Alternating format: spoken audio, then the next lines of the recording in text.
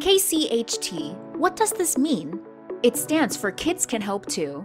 Jelila Mekonnen had a dream. She was a young, passionate, and caring girl who founded this nonprofit organization to help kids in Ethiopia who do not have the basic items that many of the kids in America take for granted.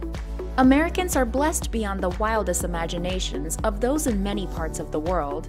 The goal of KCHT is to show our kids how they can help kids in other parts of the world who are less fortunate.